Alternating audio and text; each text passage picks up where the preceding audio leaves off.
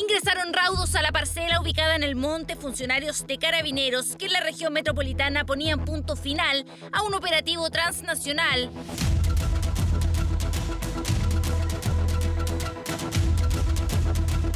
Cuatro chilenos y un colombiano, todos detenidos en esta parcela, eran parte de una banda dedicada al tráfico de drogas. 275 kilos de marihuana tipo creepy que fueron sacados de circulación llegaron desde Colombia en un contenedor al puerto de Valparaíso como carga no declarada. La organización era seguida por la policía de ese país.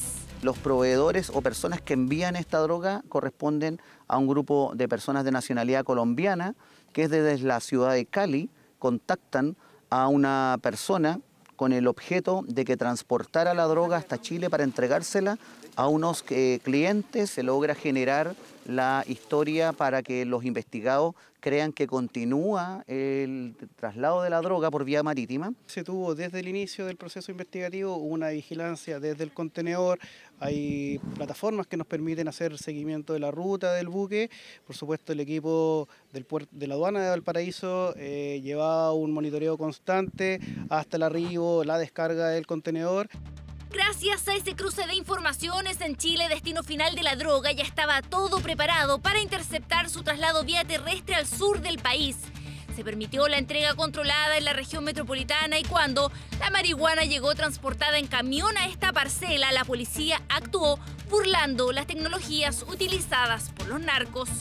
Estas organizaciones cada día van incorporando tecnología para poder concretar su ilícito. Utilizaron un inhibidor de señal que, eh, que justamente tiene para, eh, lo usan estas organizaciones para bloquear eh, comunicaciones. Se ha realizado un trabajo además con vínculos más allá de nuestro país, con vínculos que incorporan las capacidades de la Policía Marítima, de la aduana, de carabineros y también del Ministerio Público para sacar de circulación droga que, que venía a nuestro país.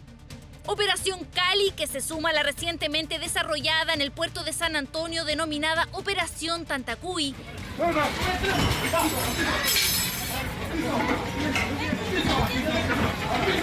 En esta, dos chinos, un peruano y un albanés fueron detenidos en mayo pasado tras ingresar 100 kilos de cocaína por esa vía, misma ruta que fue catalogada mundialmente por la ONU como principal punto para traslado de sustancias ilícitas.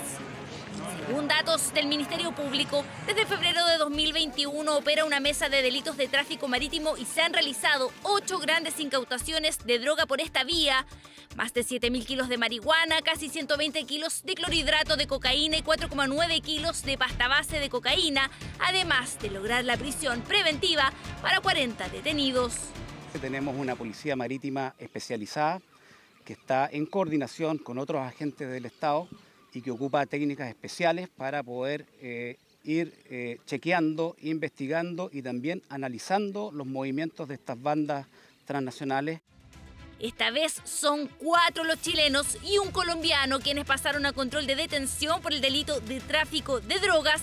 Ya están en prisión preventiva y enfrentarán a la justicia con la agravante de haber actuado como agrupación para cometer el delito